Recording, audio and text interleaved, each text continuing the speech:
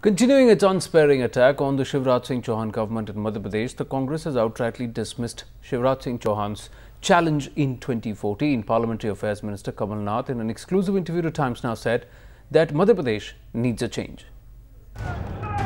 Campaigning in Madhya Pradesh is in full swing, and the Congress is hoping to take advantage of the two-term anti-incumbency facing Shivraj Singh Chauhan. How is the Congress planning to take on the Congress, uh, take on the BJP, considering Shivraj Singh Chauhan is the face of the BJP here in Madhya Pradesh? Then? He may be the face, but it's not necessarily the right face or a good face.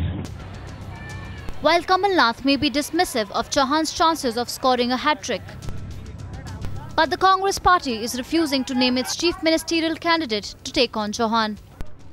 Because the people of the state want a change. There is a wave of change. People have understood that uh, this politics of deceit, this politics of promises has not worked. And the top Congress from MP coming together on stage in Hoshangabad, eager to build momentum for their party.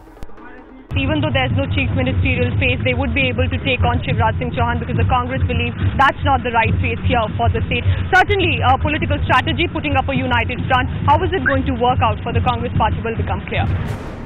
The man leading the Congress campaign too is sounding upbeat. I think there's a full wave in favor of the Congress. I think there's going to be a positive Congress result. But the real test for Congress lies ahead as it's up against a formidable opponent in Madhya Pradesh. With Pooja in Hoshangabad, Archana Solanki for Times Now.